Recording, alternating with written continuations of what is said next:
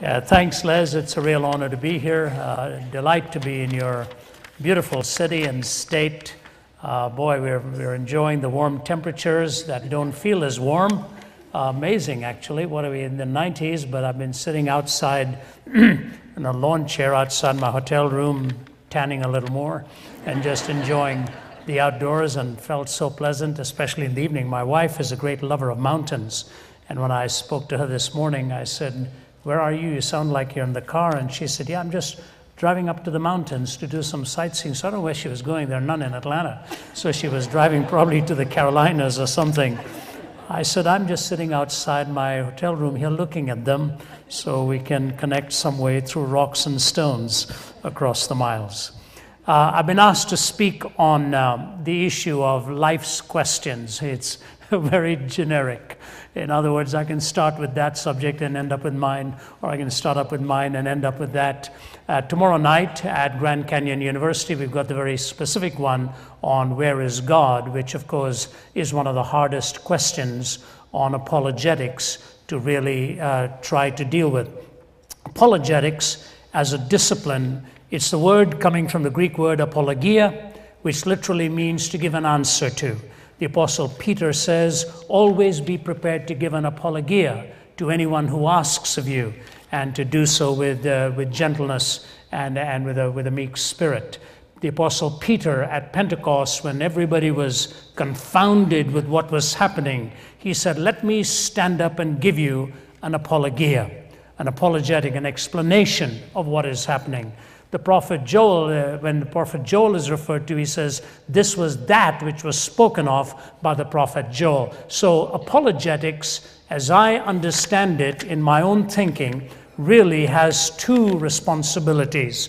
Number one, it gives answers to the hard and the soft questions. A question like tomorrow night is a hard question. By that I do not mean hard as eh, implying difficult, but it's a, it's a laser pointed, sharp question. You're trying to find an explanation for the existence of God when there seem to be so many other contrary indications to that. How do you explain where God is in all of this? That's what the apologists will call a hard question. It's a pointed question. Today is much more like a soft one, where you're dealing with the contexts of issues and trying to give yourself a paradigm from the framework of which the hard questions can be answered. Because to every text, there has to be a context, otherwise, it ends up becoming a pretext. You just use uh, ideas in order to sort of uh, satisfy your own. Uh, comfort zone. That is not what apologetics is all about. Apologetics is actually trying to get the listener into the comfort zone with the answers by clarifying truth claims and giving responses to hard questions. You know, the story is told of a couple of guys who were sitting around a restaurant, and one fellow said to the other, he said, um, Let's have a bet. I will ask myself a question and if I answer it, you buy me a Coke. The fellow says, What's that? He said, No, no, I'll ask myself a question. If I answer it, you buy me a Coke. The other says, What's the big deal about this? He said, No, no. Then you ask yourself a question and you answer it, and I'll buy you a Coke. We'll keep going this way till one of us asks ourselves a question we cannot answer. Well, I said, This is the strangest kind of bet I've ever heard. He said, It'll be very, very simple, actually. So, since I proposed it, why don't I start? He said, My question to me is this How does a rabbit burrow a hole into the ground without throwing mud onto the outside? How does it burrow a hole into the ground without throwing mud onto the outside? He said, My answer is it should start digging from the inside. The other guy said, How can it do that? He said, I don't know. That's your question.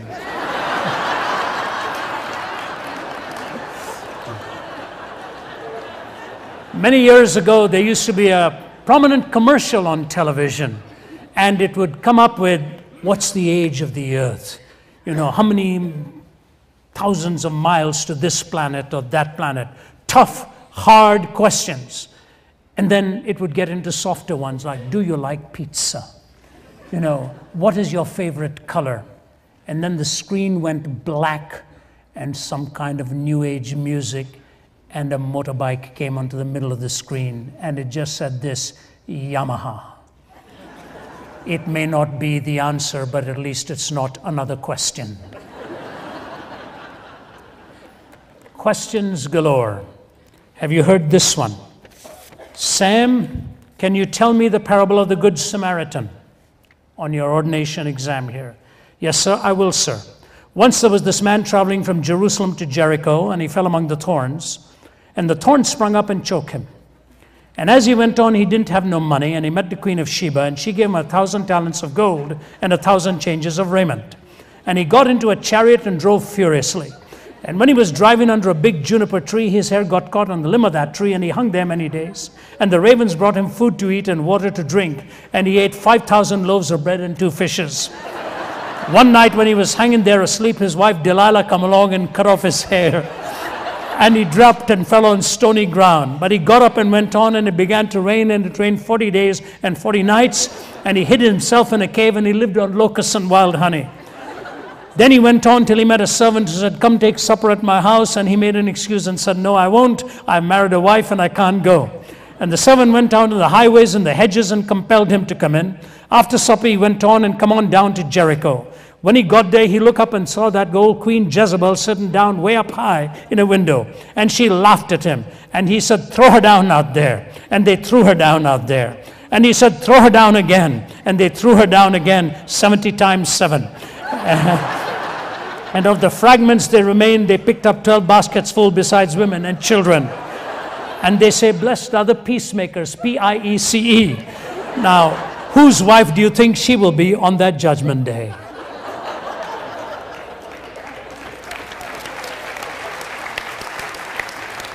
That's brilliant.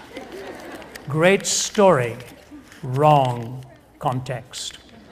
And you know what? I think the day is going to come when people won't even laugh at that story because they won't know what's so funny about it.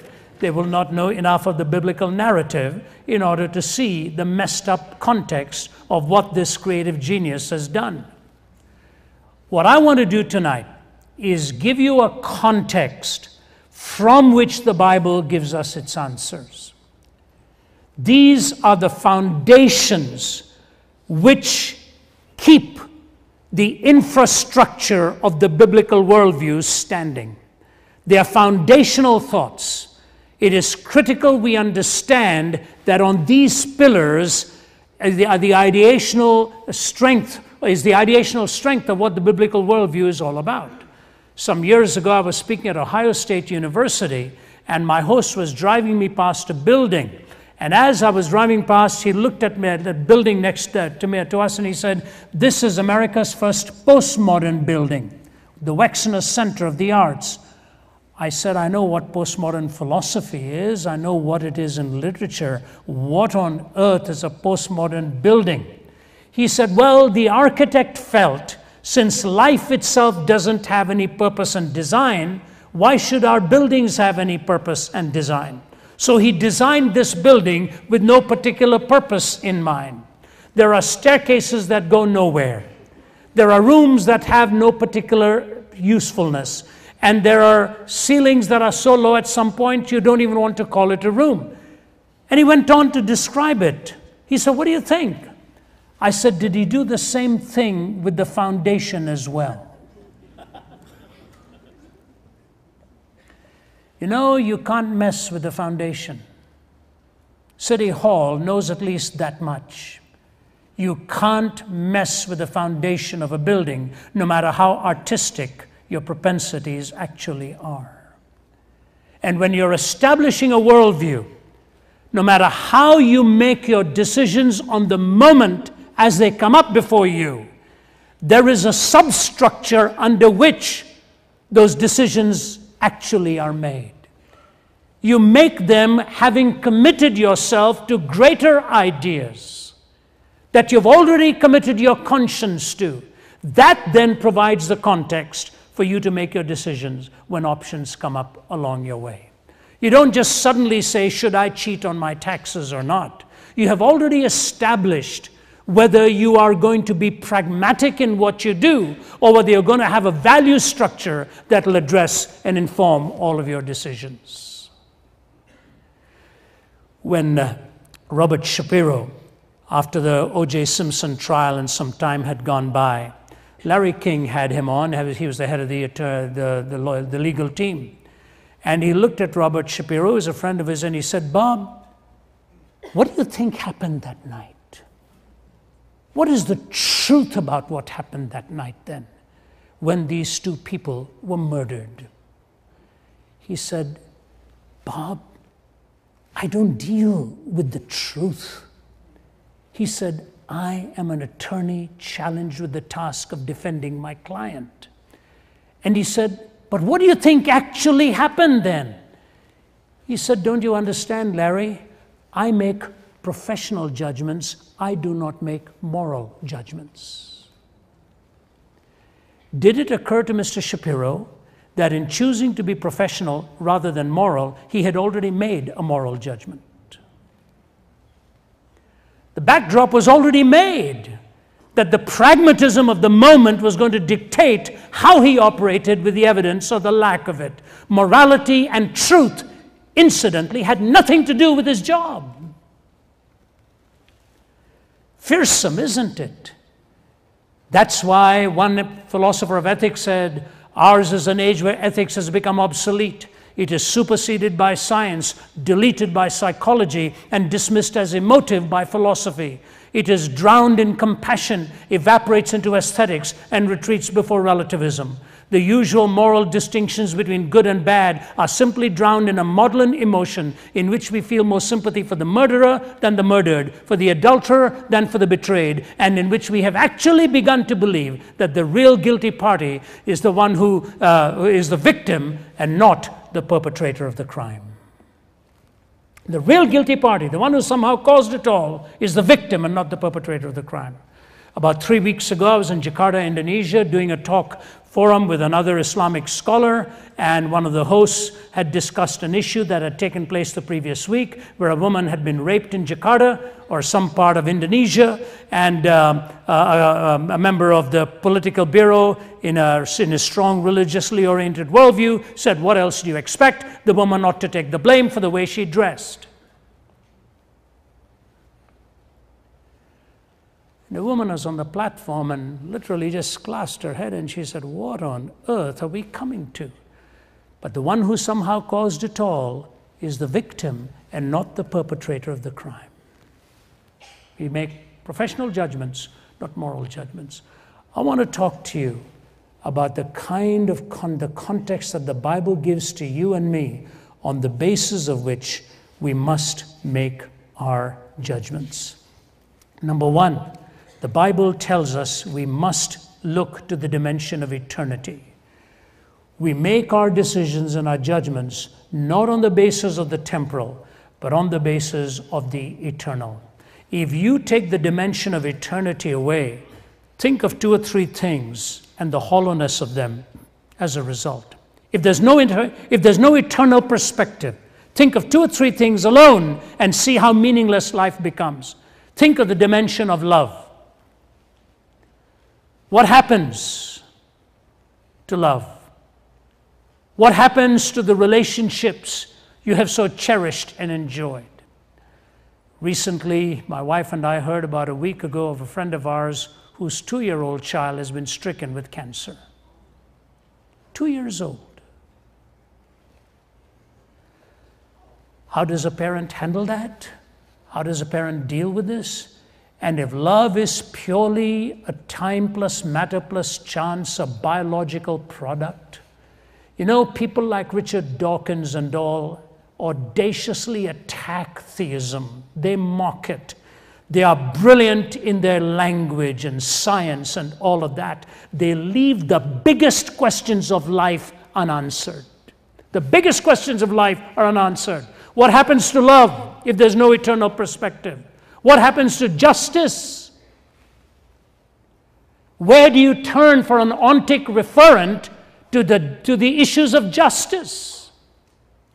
What do you make of a Hitler or a Stalin? If all they ended up doing was at their whim and at their desire, one eliminated 15 million of his own people, the other millions and millions and plunged, plunged this whole world into a kind of a holocaust and then ended up by snuffing out his own life. Is that all there is to it? I'll never forget when I arrived in Canada. I was only 20. And there they were in 1968, giving to the world a glimpse of something the human eye had never seen. I was looking at my television screen on Christmas night with my parents, my brothers and sisters. We'd all now come together in this in our little town home in Toronto. We were watching what was going to be given to the American astronauts, which was vouchsafed to them the first time ever vouchsafed to a human eye, as they went round the dark side of the moon and watched the earth rise over the horizon of the moon, draped in a beauteous mixture of blue and white, garlanded by the glistening light of the sun against the black void of space. Nothing in their minds prepared them for the awesomeness of the moment. And the astronaut, with no rehearsal in mind, no poet in mind, no lyricist in mind, no philosopher in mind, the only words that sprung out of the depths of his soul were the beginning words of the Bible In the beginning, God. In the beginning, God. No science textbook or primordial slime could explain that for the moment. It was only the vastness and the intelligibility of a great designer. In the beginning, God. The whole dimension of eternity is wrapped up in that first uncaused, uncreated, absolute being who is above time, for whom there is no beginning or no end. Think of how you and I also relate to this question of time. We react to things that are common as if they are surprises. I, am indebted to C.S. Lewis for this idea. Lewis, for example, makes the comment we look at a young man and say, My, how he's grown. Or, My, how time flies. My son Nathan, who's bigger than I am now, when he was about 12 or 13, he said, Dad, everywhere you take me, I'm getting tired of people saying to me, My, how he's grown. he said, Don't you think they ought to be surprised if I didn't? Ought not they, they say, My, what's the matter with the boy? He's not growing. My, how he's grown. My, how time flies. You know, here I am now, uh, we are all at the tail end of 2011. When I was a little kid, I used to wait for Christmas, for summer holidays all the time because I hated school and I loved the vacation. And it was a cumbersome, monotonous, boring nine months till the summer vacation would arrive. Now I find at this stage in life, those days come quicker and quicker and quicker. And if you look at my itinerary one year ahead at a time, where we are planning our flights three to four months ahead at a time, you just watch time whiz by. And it's almost folly to say, My, how time flies. My, how he's grown. My, how time flies. Lewis says this it would be as ridiculous at a fish as a fish constantly expressing its surprise at the wetness of water. Unless, of course, he says it was intended one day to live on dry land.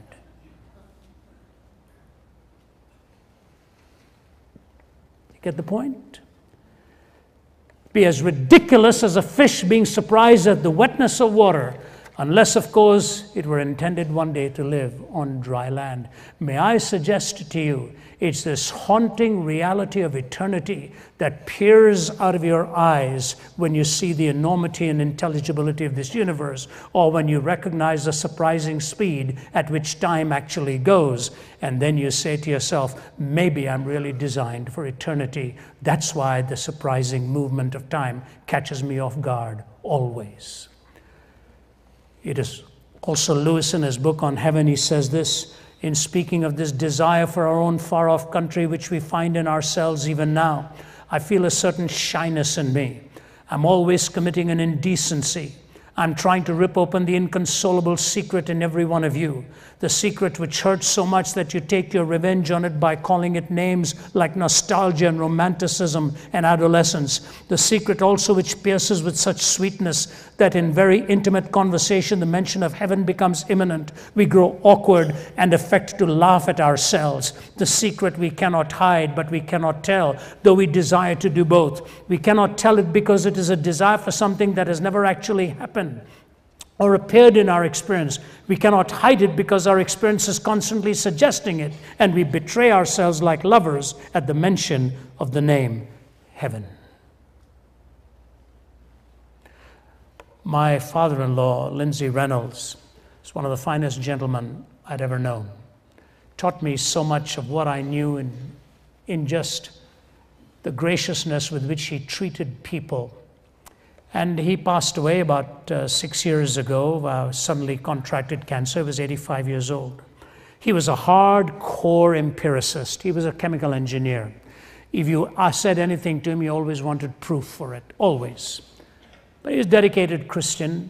But now, when he was stricken with cancer, his faith was for the first time really put to the test. He was a World War II veteran, gone through a lot in the Royal Canadian Air Force and so on. And when he was given that news, he began to struggle and struggle and struggle. He battled it out. I would sit with him uh, across a donut and coffee and talk to him that his life had been spent for God. He'd raised four beautiful girls and been a terrific husband and father and all, nothing was really working.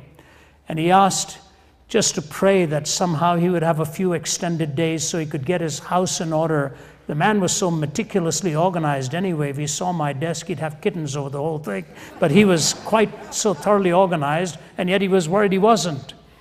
Finally, the days were coming in closer and closer and closer to an end. I was away from Toronto at that time. My wife had flown in there with her sisters, and they were standing around the bed. For about two, three days, he'd said nothing. He'd gone into silence, shrunken down to a bag of bones. My, my wife said it was just so hard to see dad like that, pitiful. And then, as his wife and daughters were there, I was Toronto bound. I wasn't going to make it before that last minute came. She said, He opened his eyes for one last time. He looked to the ceiling and he said these words That's amazing. Just amazing. And then he looked at his wife of 60 some years and said, Jean, I love you. He was gone. The two most eternally fulfilling things that death is not the end and that love can triumph through it all he clung to in the last minute and died the way he lived as a Christian gentleman.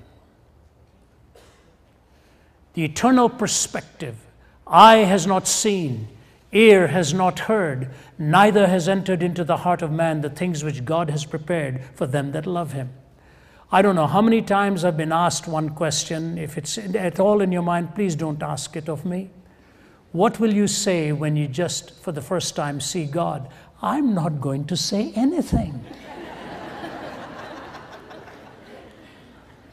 what I'd be afraid of is what he's going to say to me. Isn't that interesting? What are we going to say? We get there. I don't think we're going to say anything. We're going to be there in the silence of an eternally beautiful being, God Himself. And that's why the hymn writers talk about it. But purer and higher and greater will be our wonder, our transport when Jesus we see. Eternity. When you've defined eternity, you have then learned to define existence. When you move next to the dimension of morality, then you move to the dimension of essence. Eternity helps you define existence in the biblical worldview. Morality helps you define essence. But here's what I want to say to you at this point the difference between moral reasoning that is horizontal and reasoning in morality that is based on vertical and spiritually given dictates, there's a world of a difference between the two. There's a world of a difference.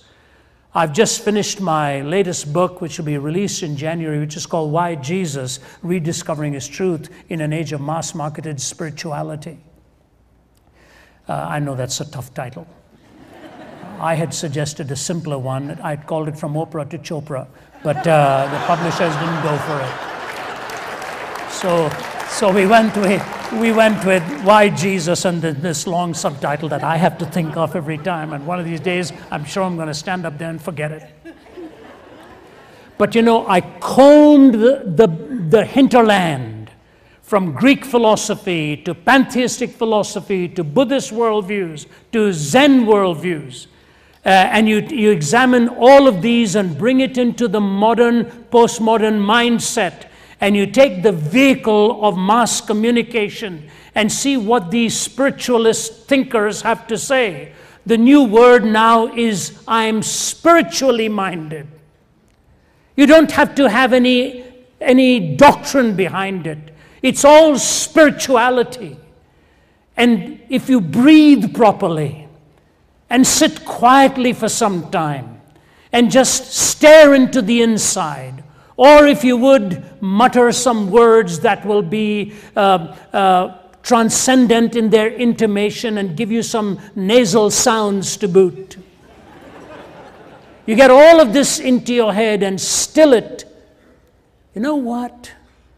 I have scores and scores and scores of friends in India who've tried this stuff. Tried it. Just about five, six weeks ago, I was in India speaking to Bollywood film stars. This is the third time they've invited me to talk to them on a search for meaning. They've lived with all this stuff. It's left them empty. Oh, yeah, it's important to breathe properly. And yeah, I'll even go so far as to say take a few minutes every day to sit quietly and think. Think on the Word of God, meditate on His truths, meditate on the beauty of His creation. I'm not de- debunking that. But if they drive you into yourself to make you think you are the definer of what is ultimately good and what is ultimately evil, that is not postmodern spirituality. That goes right back to the Garden of Eden. In the day that they ate of the tree of the knowledge of good and evil, they redefined good and evil, became gods to themselves. That's, what it, that's when it all happened.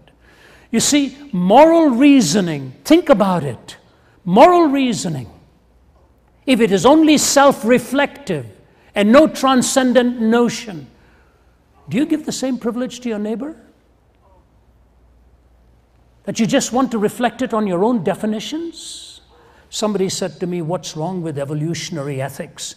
I said, Whose evolutionary ethics? Who has evolved more than the other? We think humanism has just one imperative. It doesn't. It simply doesn't. Allow me to give you a cruel illustration of this to make my point. Some years ago, I was taking off from a country I'll leave unnamed. The plane was heading on to one stop where I was getting off, then it was going on to Hanoi. A woman was sitting next to me from Holland. And we got into a conversation. We were both very careful about disclosing what we did, and we and suddenly realized we both actually were deeply committed in our faith. And I said to her, What brought you here? She said, I work in the rescue of children from the sex trafficking industry. I work for a Holland NGO, and I was here, I come here regularly. I said, Is it a big problem here? She said, Yes. I said, Were you successful? She said, Ravi, last night, I went into an area of this city that's called Snake Alley, where men come at the end of their day's work and they're given a concoction of snake's blood and hard liquor. And they just gulp it down, it ravages the brain. And then they ask for whatever it is they have fancied that they have come there for. She said, I rescued an 18 month old baby girl from the arms of a man who was plundering and raping her. 18 months. I remember turning away from her at that point, literally thinking I was going to be sick to my stomach. She was all teared up. Now, you know, a man's brain may be ravaged and ask for something that strikes you not just of lunacy, but of ultimate cruelty.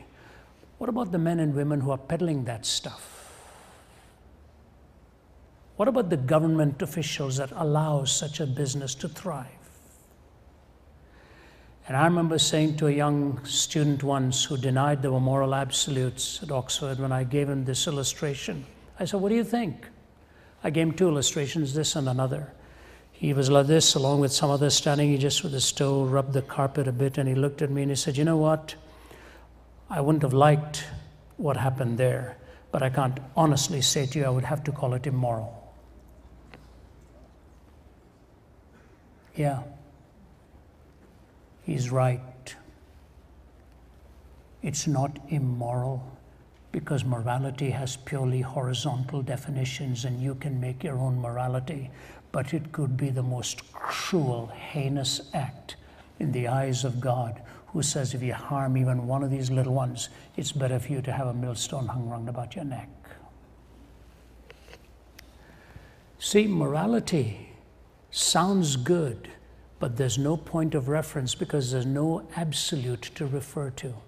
What do you do in a world in which there are no absolutes? How do you, you know, I woke up this, the, the day I arrived here, I don't know what, what's today, Saturday, I think we arrived here on Friday, Thursday, I don't know. Uh, I, I just wake up and I look at my itinerary and he picks me up and I go where I'm supposed to go. And when I woke up in the morning, I looked at my watch and I looked at the hotel desk, and there was a one hour difference. I said, I thought I corrected mine to Arizona time. Their time must be wrong. I have two Blackberries, one for my family, one for my work. I looked at both of them. One was right with the night table clock, one was right with my watch. It's still there. I can prove it to you afterwards. I won't tell you which T-Mobile or AT&T blew that one, but one of them blew it. And so I phoned the front desk. You have to have a point of reference. You have to have a point of reference. When you come to a red light, you stop. At least in America, we do. In India, we think it's Christmas and keep moving. you stop. And you look out of the window and you see another car moving on the next lane.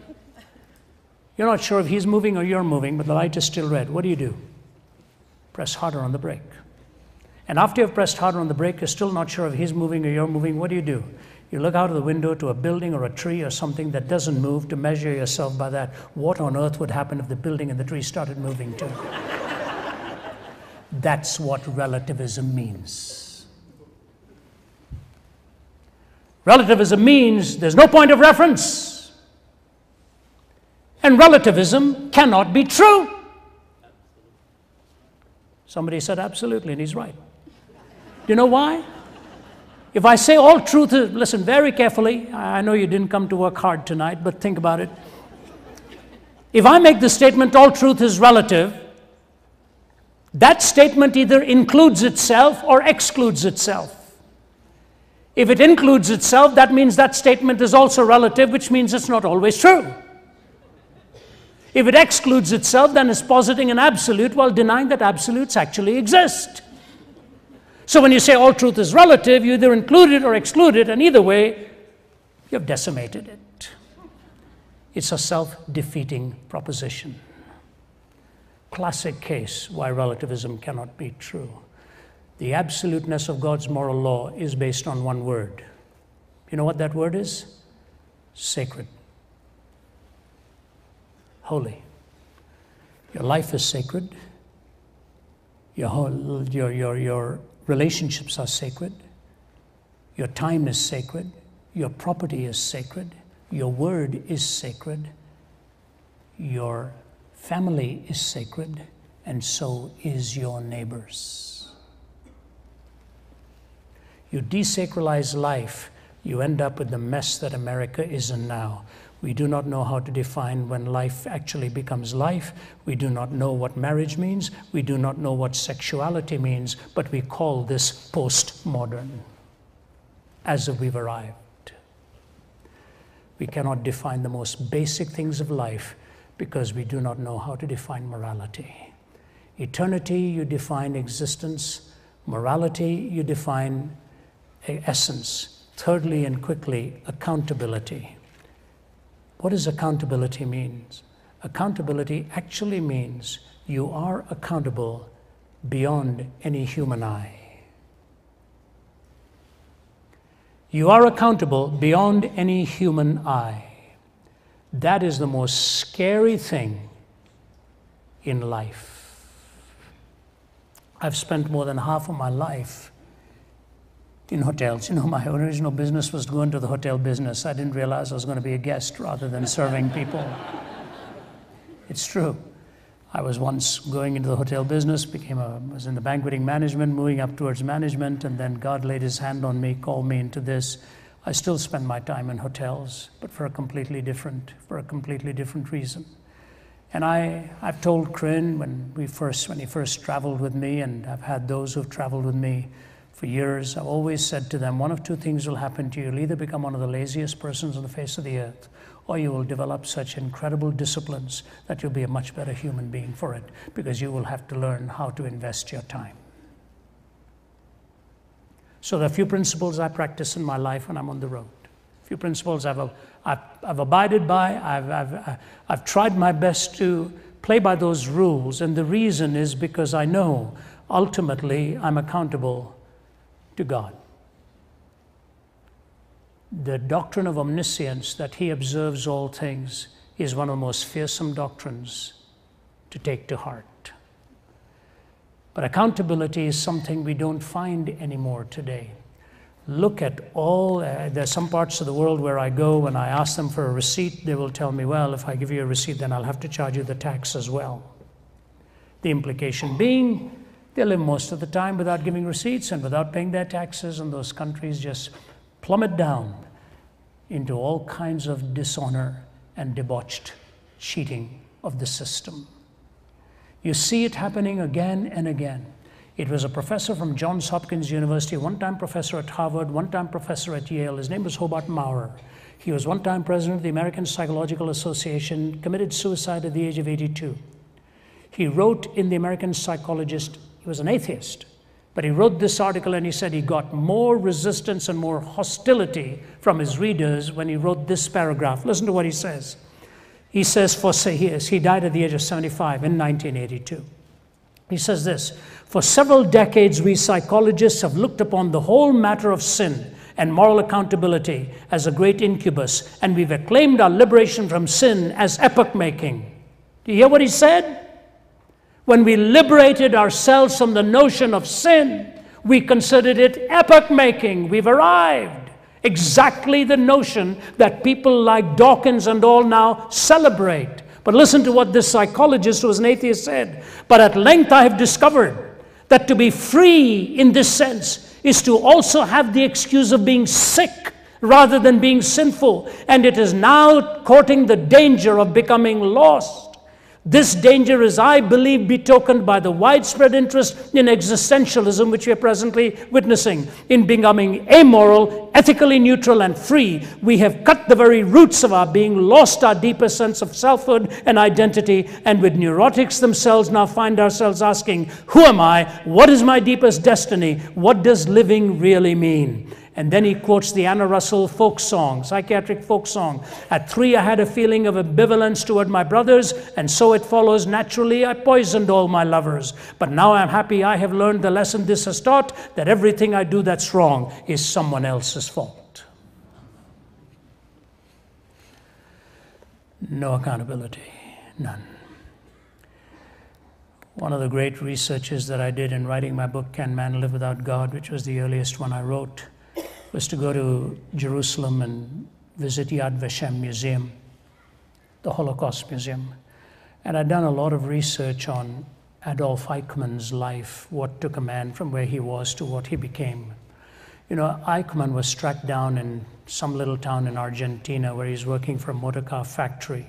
Unknown to him, the Israeli Mossad had tracked him down. If you've read the book, The House on Garibaldi Street, you know the story, and the movie came out too. They watched him from a distance. He would get off from a bus, walk around with his briefcase, look around, make sure nobody was watching, unawares from a distance. They were watching him with high tech equipment. He'd unlock his gate, walk up. Before he unlocked his door, look over his shoulder, A little boy would greet him and slam the door shut. They watched him for day after day after day. On this ill fated day for him, the Mossad near the bus, as he was walking back, felled him, plunged a needle into him, and knocked him unconscious in a cloak and dagger operation, flew him out of Argentina. Incredible uh, precision with which they'd done. Brought him into Jerusalem, brought him for trial. After about 20 years, the man who was involved in it, Peter Malkin, broke his silence. He said, I don't want to say anything, but my days are coming to an end. I just want to tell, my, tell the people one conversation I had with Eichen, Eichmann. He said, We were on a train while I was bringing him back, and the most startling thing to me was he looked like an ordinary human being. I couldn't believe all that he'd orchestrated for the death of, death of tens of thousands. He said, So one day I shut the door in his little compartment and I sat next to him and I said, Mr. Eichmann, I watched you every day come home, open the door, and greet a little boy. Who was that boy? He said, He was my son. He said, How old is he? He said, He's eight. He said, He's the exact age as my nephew that you killed. You killed my nephew who was eight. He said, Mr. Eichmann, can you tell me what's the difference between your eight year old boy and my eight year old nephew? He said, Eichmann just paused and looked at him, stared at him, and said, My son is not Jewish.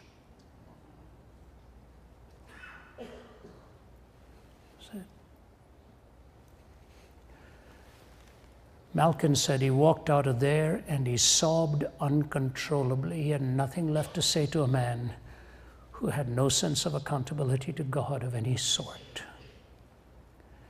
And Hannah Arendt ends her book on Eichmann by saying it was the ultimate trivialization of evil.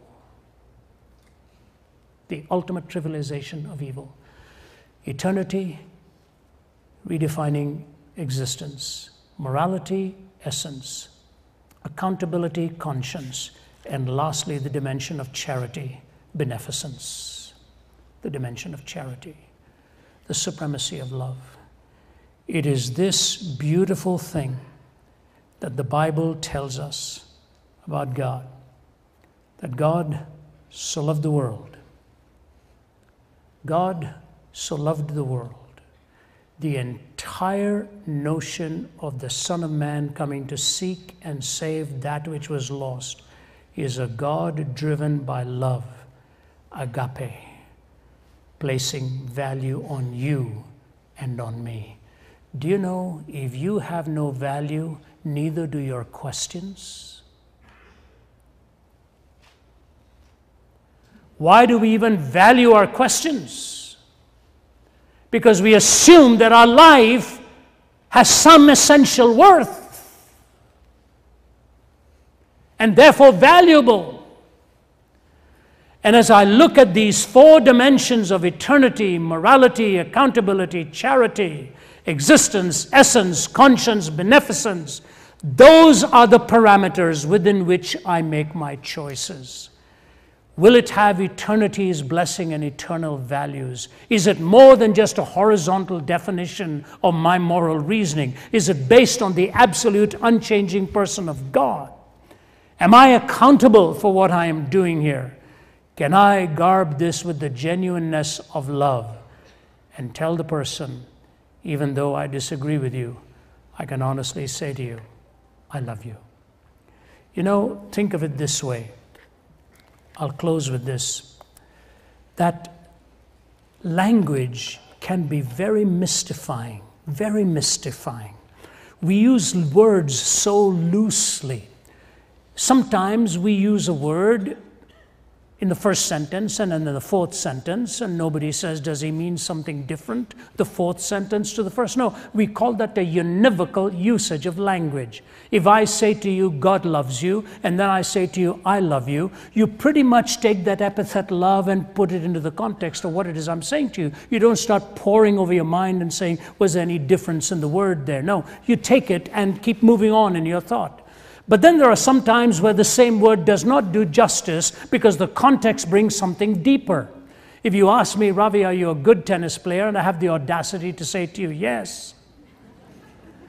And then you happen to be sitting next to a man in, in a plane and you say, What's your name? And you say, Well, my name is uh, uh, Roger Federer. And he, You say, What's your name? And He says, Roger Federer. He said, What do you do for a living? He said, I'm a tennis player. And you say to him, Are you a good tennis player?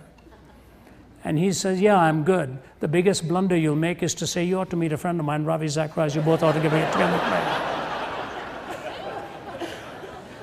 I can't even see what he hits, leave alone chase it back. Same word, different context. That's what you call an equivocation. Univocal, same meaning, equivocal, same word, different meaning. How then do we talk about God? What's the point talking equivocally if we don't know what it means? What's the point talking univocally when we know it doesn't mean every the same thing for an infinite being and a finite being? So we borrow a third usage which we call analogical. By analogy, we take that which can be legitimately inferred from one usage onto the other usage. And so when I say to you, I love you, and then I say God loves you too, please understand the difference. When I love you and you refuse to love me, I hurt because I have lost something. When I say to you, God loves you, and you refuse to love God, God hurts too. God hurts not because he has lost something, God hurts because you have lost something. That's the purity of his love in the value that he places upon you. And if you ask anybody what goodness means, they'll tell you to desire a thing for its own sake. Oscar Wilde, before he died in his 40s, had plundered many lives. I wrote a book on an imaginary conversation between Jesus and Oscar Wilde called Sense and Sensuality. Wilde was in his room with his lover. Robbie Ross Wilde was dying. And he looked at Robbie Ross. He said, Robbie, I have a question for you. Did you love any one of those little boys for their own sake?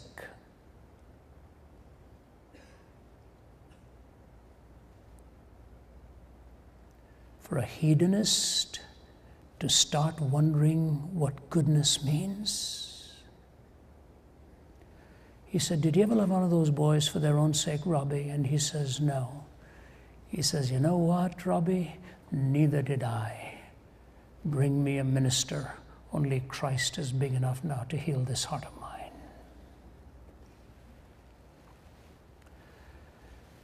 Eternity has a way of reaching down to the final moments of life. Morality and accountability will meet you there as well. And ultimately, what you will need desperately is the understanding of charity, God's love for you, and your return of love for Him. And in this world of so many worldviews, I say to people I disagree with, I will disagree with you, but I will never be disagreeable with you. Because if love is lost, then God is lost, and I don't want to lose God in our conversation. That's the way the Christian worldview functions. We stand beside people with whom we do not agree, but we learn to live and let live and celebrate the possibility of truth in the marketplace of ideas, because ultimately God alone is the truth and He is the ultimate judge. This is the paradigm on which you base life's choices eternity, morality, accountability, and charity. Those are the foundations that God has given to you and me. And my time is gone. I don't know when it went, but it's gone. Time flies. God bless you. Thank you.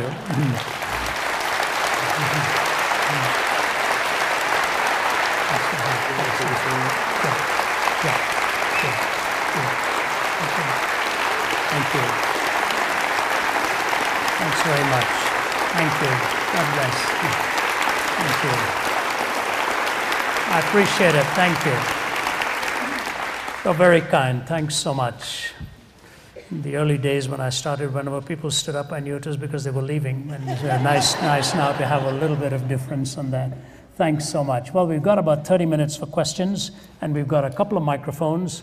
And what I would uh, plead with you, if you're asking a question, please keep the question brief and keep it to one. Uh, uh, last week we were at a place I shall leave unnamed, and the opening fellow said, I have three questions for you, and the lineup was so long. And of course, to be charitable, I tried to answer all three, but I wished you'd only asked one. So better to be forewarned than to be quoted in my next meeting. All right. All right.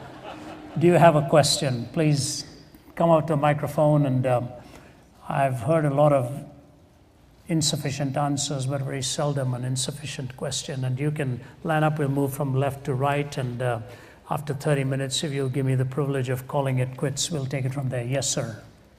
Dr. Zacharias, I have a close family member that has been living with many New Age beliefs for a number of years, based on monistic pantheism and put into practice through energy healing. They refuse to acknowledge the objective nature of truth and claim they don't mind living with contradictory beliefs as long as those beliefs work for them. What is the best way to share the gospel with a person that claims they are content with contradictions? Very, very good question, very fair question. And um, I've uh, seen that more often than you could ever believe. And of course, I was born and raised in a country where it's very common to have that view. And then, if you add to that the other imperatives that follow, sometimes it involves your family also in the same tradition, so on. You're not willing to repudiate the faith of your fathers or whatever. For a person to say, I know it is not coherent, and I'm willing to live with incoherence is actually saying they don't care about reason and meaning anymore. If reason and meaning are pointless, reasoning in a meaningful way with that person may also become a pointless exercise. But a person like that, sooner or later, is awakened into reality by something that will happen. I would say to you the most important thing you can do to them is not preach to them, but live your message and show what a life of coherence actually looks like. Give them an opportunity to hear the words of Christ, to listen to messages or read books. I used to leave books for my father all the time, not knowing, not him not knowing that I was leaving them on the table so that he would read it when I was not there. And you do things like that. You give them CDs, you give them tapes, take them to meetings. There was a great movie in which um, Kevin Kline played the lead role, and it's called The Emperor's Club. It's a story of students in a Shakespearean school where one guy gets in by his father's power as a senator. He's not qualified to get in, you have to be highly qualified to get in, but he gets in and he cheats his way through class every time. And on the last day in the final exam, they've got about four students on the platform where they're going to be put to an oral test of Shakespearean knowledge. And he's made it to the final four. And the teacher knows he's cheated all along, but he doesn't know how to pin it on him. And so the teacher's in the middle asking questions, and these four have to go quickly and answer it. And the guy is about to lose, but he has a backup plan. He cheats, he gets the right answer, and wins it. And the teacher, Kevin Kline, just looks at him and they lock eyes, and he knows he's cheated but doesn't know what to do lets it go. Many years go by, this fellow is now grown up. He's the head of a country club and a big financial empire. So he gets in touch with the teacher. He says, I know that you think I've cheated all my way through and you couldn't pin it on me. He said, I want to prove it to you that I can still win without cheating. Find the other three and bring them to my country club. I'll host it. So they track the three down. They've not done that well. This boy is a big tycoon. The auditorium is packed. Kline is in the middle as the teacher, and these fellows in their middle years now. The questions are being thrown. This guy's on the verge of losing, and he has a backup plan to cheat once again. And he cheats, and he wins. Kline doesn't know what to do. He goes back to his room, picks up his briefcase, and he stops in the men's room on, before he goes. And he's put his briefcase on one of the counters there. And the man walks in and he looks at the teacher and he says, What's the big deal? What's the big deal? What's, what's wrong with what I did? So what? What difference does it make? What's the difference? Tell me what's the difference. The other three have lost out. I'm a big tycoon. I've got my success story. What difference does it make? And the teacher's just looking at him and looking at him, not saying anything. All of a sudden, there's a sound of a toilet flushing. None of them knew there was somebody else in one of the cubicles. And the door opens, and the little boy walks out. He's this man's son. And he comes and stands in front of his father and looks at his dad, and the lips quiver and the tears run down the face. And he turns and walks away. Kline picks up his briefcase and says, What's the difference? Sooner or later, incoherence will come back to haunt everybody, either in this generation or the next, and they'll find out that incoherence does make a difference. And God will bring that moment in the individual life. You live a life of demonstration. Keep praying for them. Show them you understand from whence they come. And the one thing you can tell them is this you will have everything you have in the peace of your soul already, plus more. When you find Christ, you will find the source of all peace and the source of all truth. Give him a chance to be the king and leader and the shepherd of your life and soul. But don't force it down. At the right time, they'll know it makes a difference. I have seen so many come to Christ from my own family and my own homeland. In fact, give me 30 seconds more. My brother in law, the Christian, highest ranking student during his days, I took him to the first Youth for Christ meeting after I came to know the Lord. We were just friends at that time, teens. He came to know the Lord that day ultimately fell in love with my sister, married her. He was working as the top safety expert for the Atomic Energy of Canada, gave that up, and is now a pastor in a large church in Toronto, brilliant expositor. We are the closest of friends. He was my closest buddy growing up. His parents, Orthodox Hindus, Orthodox to the bone. On his deathbed, his father, who used to ask questions of me in the silence when we talk, in a room, he'd make sure his wife didn't come and hear him asking those questions. She was very devoted to the temple. All this went on. On the day that he struck cancer and was lying in a bed in Toronto, it was on Canadian Thanksgiving. He called his family around them and he said, You know, I want to tell you something. All my life, I have just wanted one thing, and that's the truth. And now, as I'm dying, I'm discovering it now. I wished I'd discovered it earlier. I want to tell all of you, I have found the truth. Do you know what it is? He said. Friends from all of the te- from the temple were standing around the bed, in this Toronto bed. And he looked at them and said, I have found the truth today. It is in Jesus Christ as my Savior, and I hope you too will follow him and find that truth in him. His children, grandchildren, and all of the friends utterly stunned with it.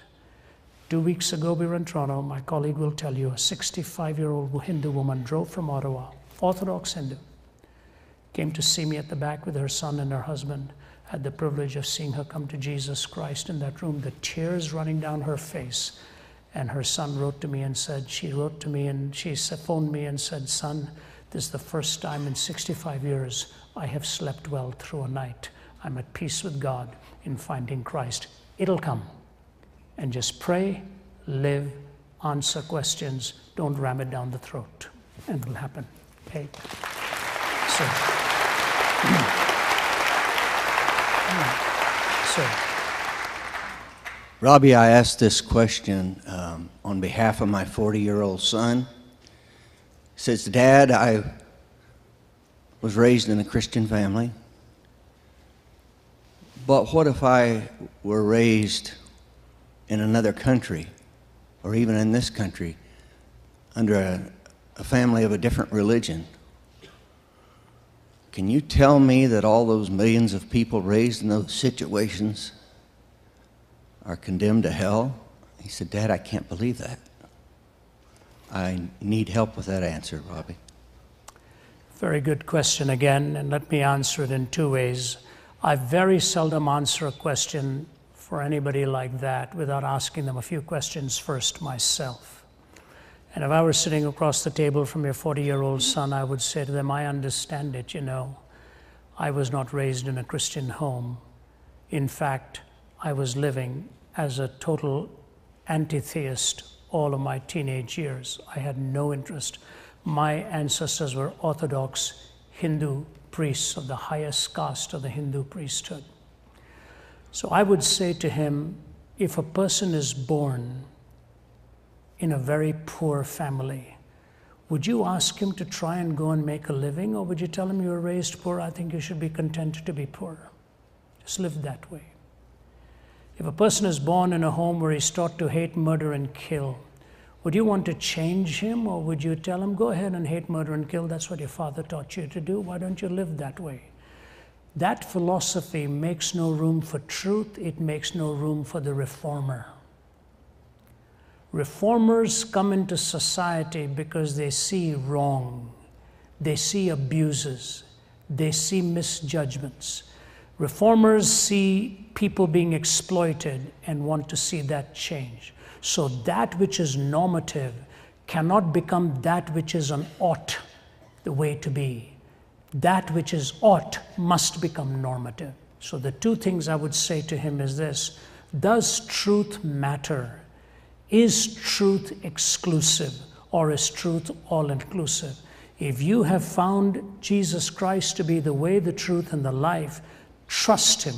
He will help you deal with the world that is raised differently and help you make a difference and a change in their lives. Then I would say this to him Don't you think that the judge of all the earth will do that which is right?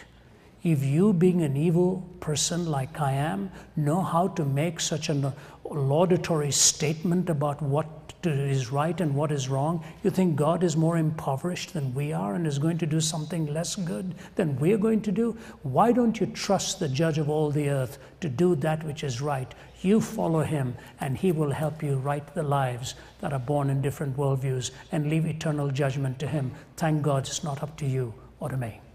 Okay? Leave that.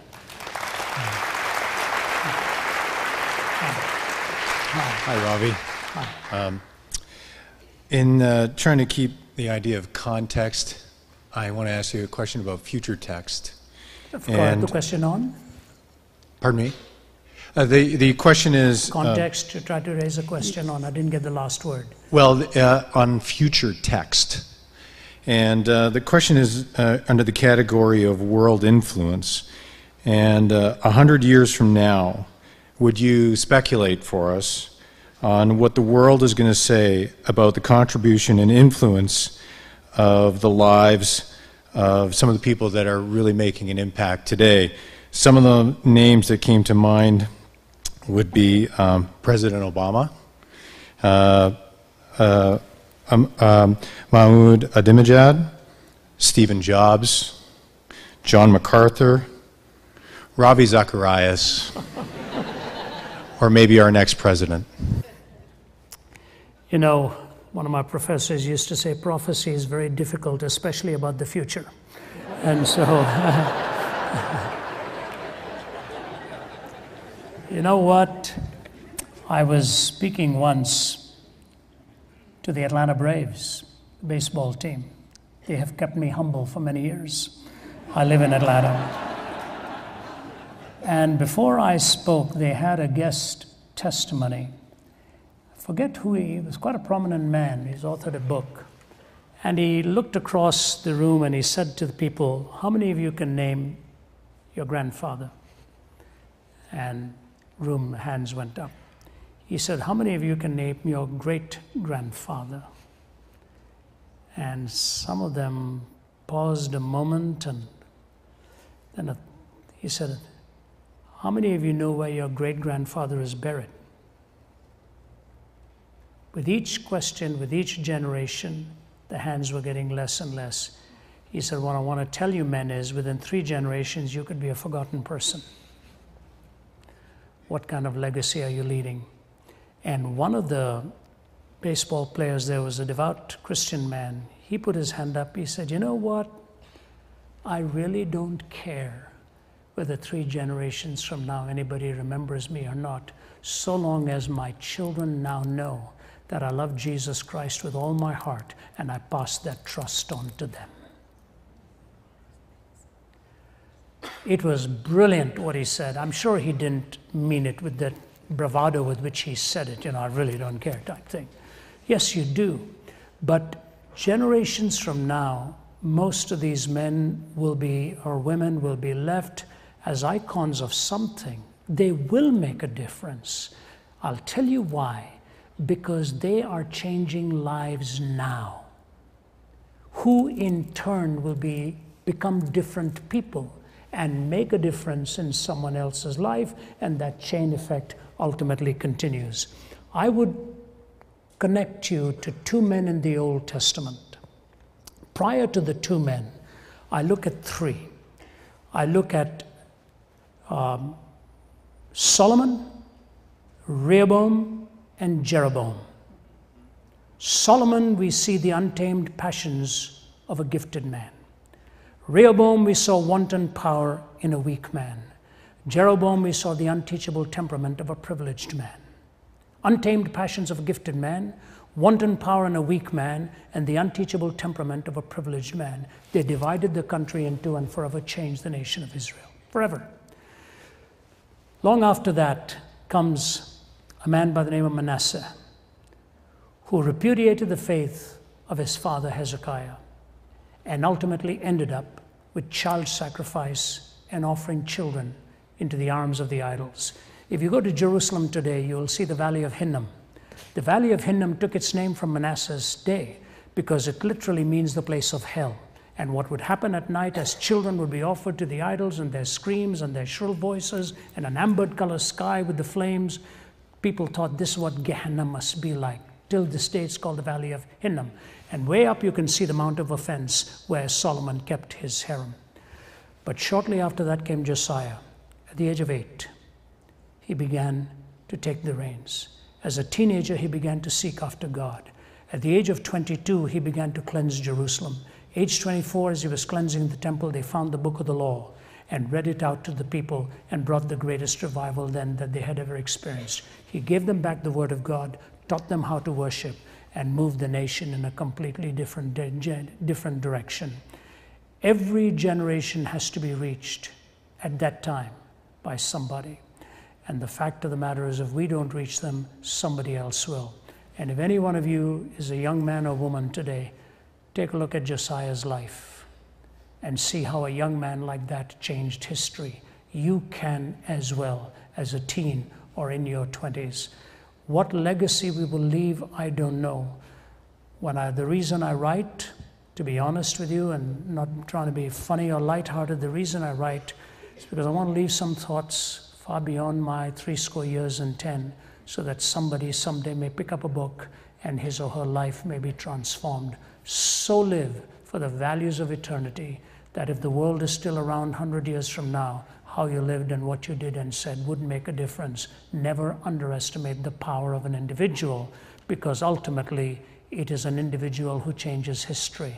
And I believe that's the kind of individual America is waiting for, and I pray it won't be long before that person comes on the scene. Okay? God bless you. Thank you. We'll take just these three. Yeah. We'll, we'll take just these three and then we'll call it a quits. Um, oh, go ahead, go ahead.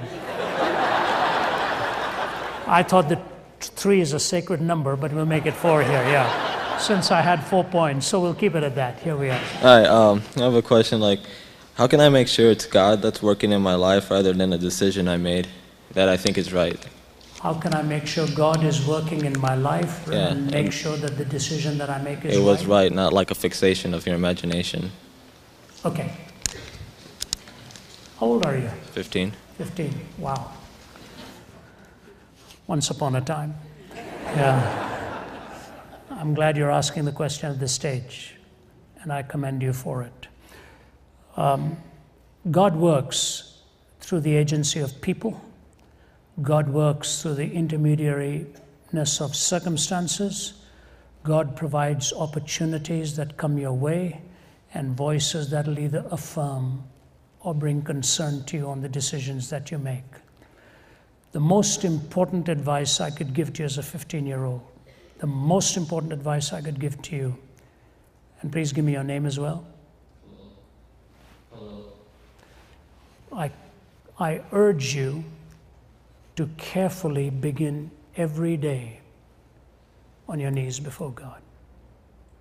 If you start that every day, and I will bring your name to mind and I will pray for you over the next two to three days and just ask the Lord to speak to you. What I suggest to you is when you begin your day with God, you will find that you are entering the day first with His voice. that is important for you to navigate through the decisions by reading His Word and hearing from Him. Sometimes there'll be minor issues, sometimes there'll be major issues. On the minor issues, you borrow from the Word of God, you, you, know, you know which way He will lead you in right and wrong. On the major issues, talk to those whom you trust and respect. Get their counsel. Have two or three people like that in your life. I have five of them in my life, whom I write to regularly and get their counsel on things. Take their counsel because what you're looking for ultimately is your calling. Where is He going to use you? What has He hardwired you for? How is He preparing you? Get their counsel, get their advice. And when you make the decision based on your inner prompting and the advice of others, you'll find context and opportunities will come your way.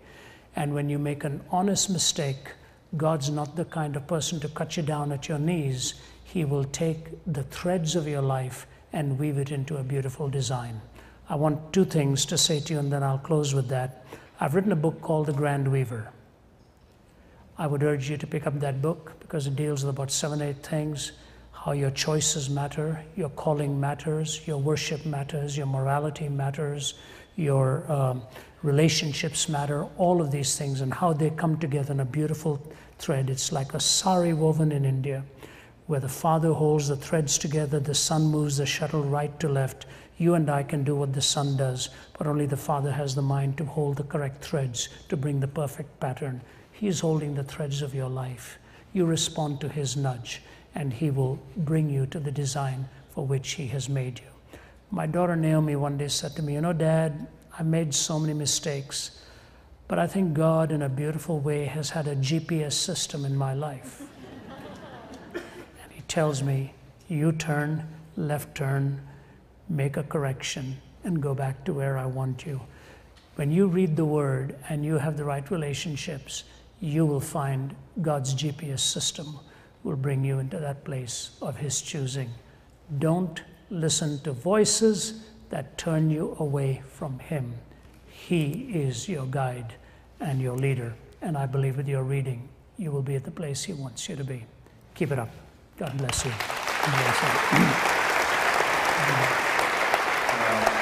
My question is simply this I don't know if it's necessarily simple, but is Mormonism the same as Christianity, and why or why not? Yes. No, no, I'm just kidding.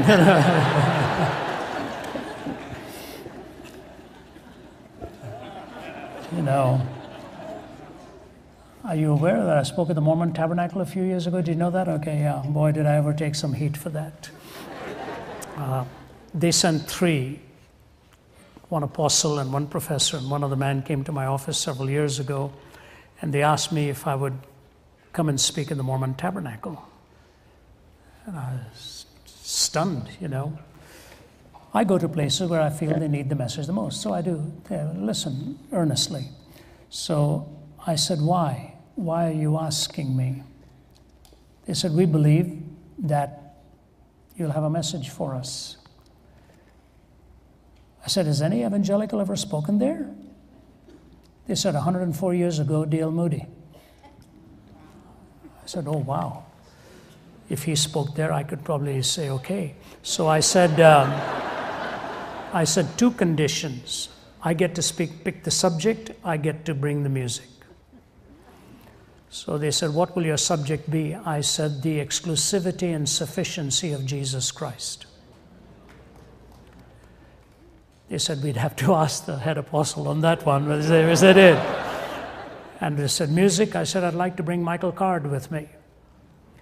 So um, they, they, they, said, okay. So I phoned Michael Card. He said, I'll drop everything I'm doing and I'm going to come. And Michael Card sang, Were you there, Stacy? Yeah, Stacy used to be on our staff. Then she went the way of all flesh, got married, and we are trying to kidnap her and get her back to Atlanta now. Her mother's been heavily involved in putting all of this together, by the way. We love her out there and miss her so much.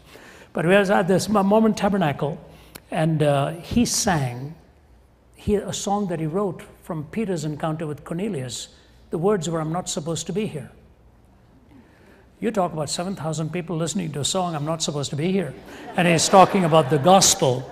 And uh, if you want to listen to that message that I delivered, we still have it, and we get a lot of Mormon people writing in for it. I compromise nothing on the message. I even address uh, the, the, uniqueness of the Trinity in there and the exclusivity and the completeness of the work of Christ. Then I spoke, I think, at Brigham Young, and one of the universities did open forums there and so on. Just about a month ago, the number three apostle flew back to Atlanta, and they're talking to me about coming back to the universities and doing open forums. So the first thing I say to you is, I took a lot of heat for that. I took a lot of flack, and some of the radio programs are really going after me. That's all right. At this stage in my life, I have to do what I believe God is calling me to do. If I can take the message to hostile arenas in India and Pakistan and other places, why am I not going to take it to places that disagree with me? It's the uh, I'm not just going to people who agree with me, I go to people who disagree with me even more than, than, than that. And uh, it took a lot of flack because Walter Martin's family had asked me to edit, after he passed away, the book The Kingdom of the Cult. So my name is writ large on the top of that book. And of course, Mormonism is one of the chapters in there. But they knew I would be respectful, but I would not be compromising. But here's what I say to you. Classical historic Mormonism has to answer this question. When the Christian uses the word cult, Christian, not generally speaking, when the Christian uses the word cult, a cult is generally defined as that which claims to be rooted in historic Christianity, but has deviated or abandoned the finished work of Christ or compromised on his person. That's the definition, okay? So, in strict Christian terms, yes, Christ was not sufficient. Today, if you talk to an average Mormon around the table, he says, No, I, I, I follow Jesus Christ. And then you bring all the other doctrines that I've added on, and some of them get very uncomfortable with what it is the Adam God doctrine, the celestial marriage, the doctrine on the covenants, the pearl of great price, and uh, all of these other additions that were brought in there. I think that it is critical we understand that, the, that Jesus said we are complete in Him. And when you add or detract, you can give yourself whatever name you want, but you're impugning the completed work of Christ on the cross. Okay, so there are other titles that one can give to those faiths, but it is not historic Christianity at that point. Now, I think your question goes deeper, and I want to be very careful, and I may be hit out here badly. Does one vote for a candidate who belongs, say, to a faith other than the Christian faith. Everyone has to vote according to their conscience and what God is prompting them to do because it's a very privileged role that we are given in this nation. My view of the philosophy of history and politics is this when you're choosing between leaders, none of whom will give you the groundswell of the Christian faith on which their life is built, which may not guarantee that they may make the best leader either, you know. But if that's not there, you have to go for a person who will help a nation provide the best moral soil on which the freedom to believe and disbelieve can actually function. It is on a moral soil that the freedom to believe actually works best and truth can ultimately triumph. If you have an immoral soil created, then the truth is evicted and you're not even given to the opportunity of voicing your ideas in the marketplace and in the public setting and in the arena. The Christian faith ought to have a voice in the marketplace. It ought to have a voice in the academy. It ought to have a voice in politics. It ought to have a voice in business. And any leader that will create the moral soil to make it possible for us to continue to pro- proclaim that, that's the kind of leader we may have to ultimately work, no matter what tag they put on them on the outside if you're choosing between those for whom the Christ is not supreme in salvation, you have to choose one who will give you the best moral soil in order to allow you to live for Christ and live out your faith. That's the implication of the answer that I have given to you. Okay.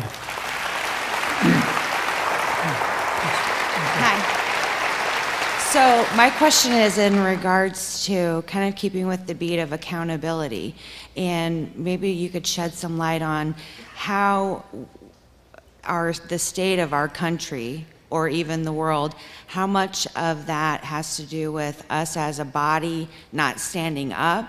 Or would it be more of like the adversary or the devil or the prince of the power of the air being able to infiltrate the world?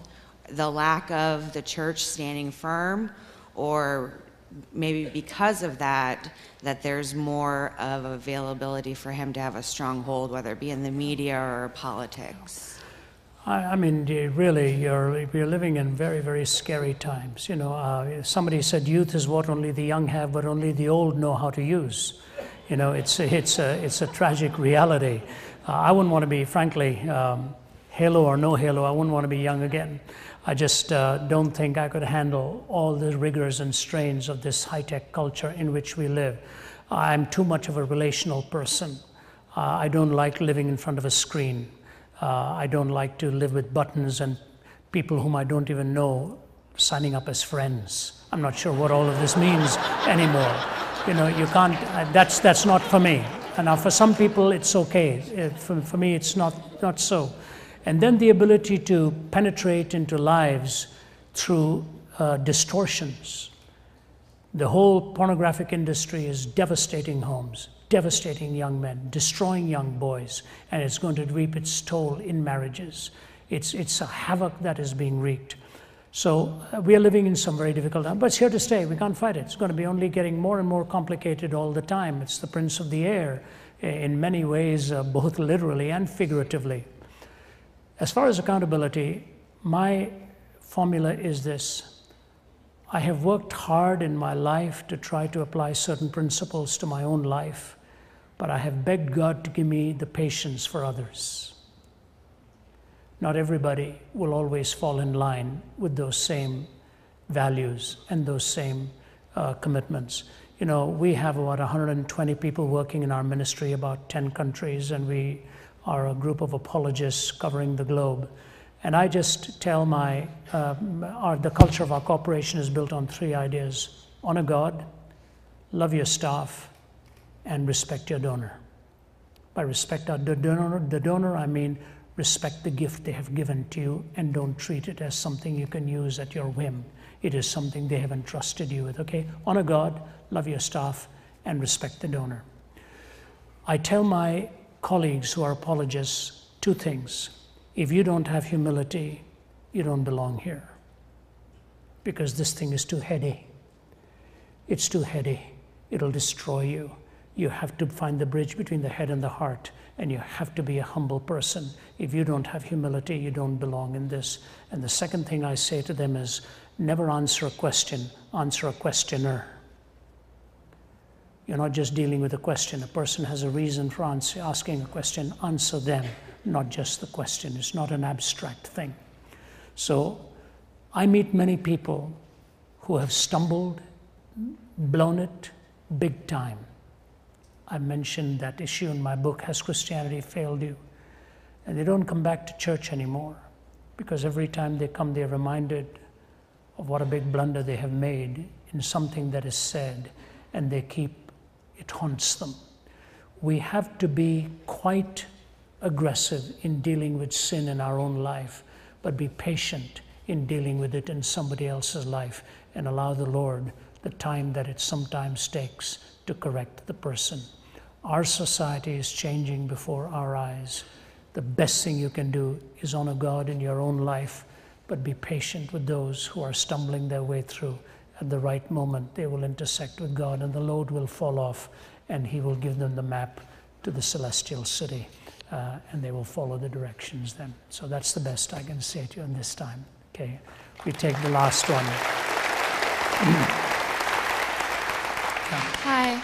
Um, I go to a Catholic school, and what I've picked up from what I've heard about their beliefs is that they believe that those who commit suicide go directly to hell. What can you tell me about that? You know, this question has so many ramifications other than that. It goes into things like uh, uh, assisted, you know, suicide type thing where the uh, machines are pulled off, or living wills, and all these things actually now are coming into play. The more machines we have and the more science grows, the more complex these decisions become, and we are making more decisions of more rapid nature, at a more rapid nature, or more rapid, more dramatic inclination, implications. Let me just say this to you. I wish I had an absolute answer to give to you. I just say this I wouldn't want to meet the Lord after I have taken my life. And the reason is in Genesis 9 6, murder is called the ultimate attack upon the image of God. That's what murder is. You have violated the image of God.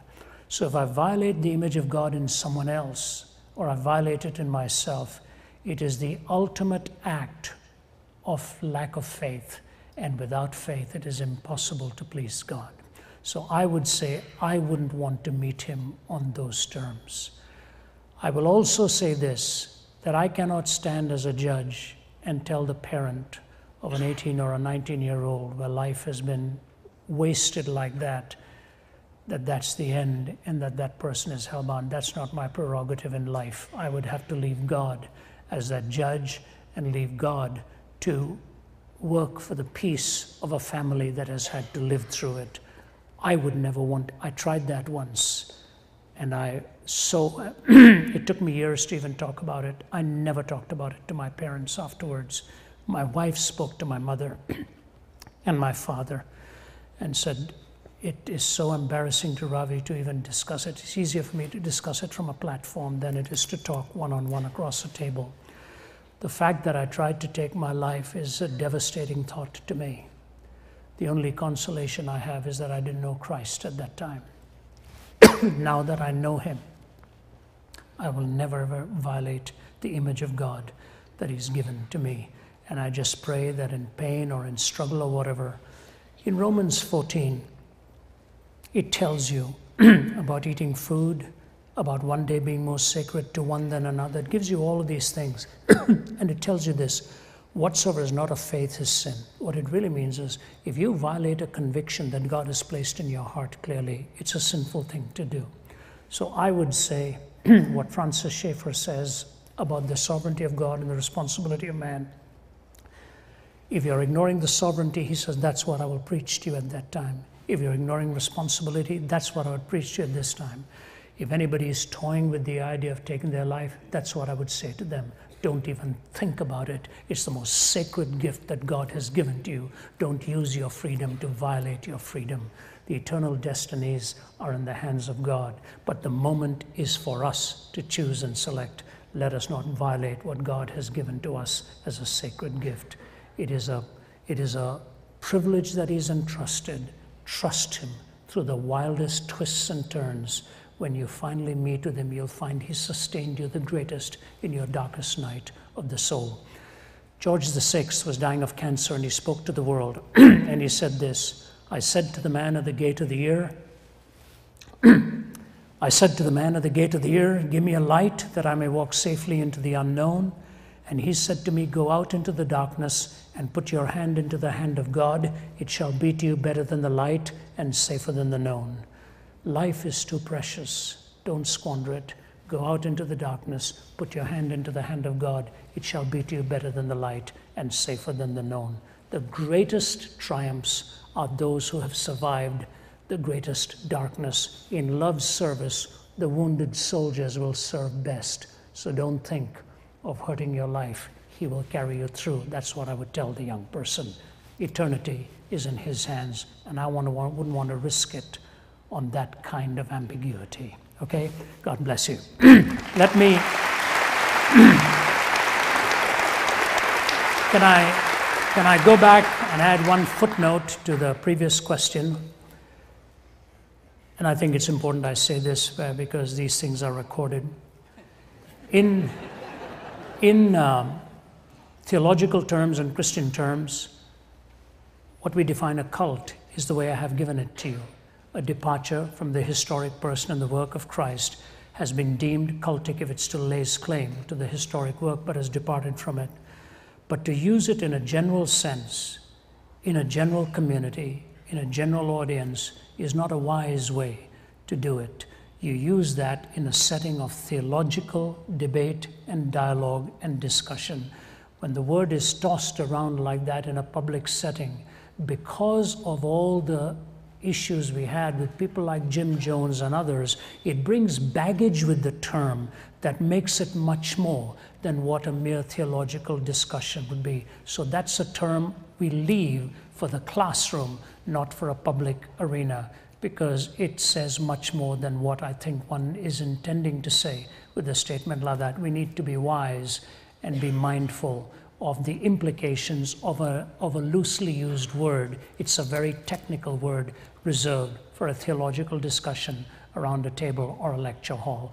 With that in mind, we shall go back and uh, I shall go and look at the mountains and uh, you can continue to do what you're doing. My brother, I don't know, Tyler or Les, which of you? were there, Tyler. Thanks, by the way, for having me. It's been great and God bless you.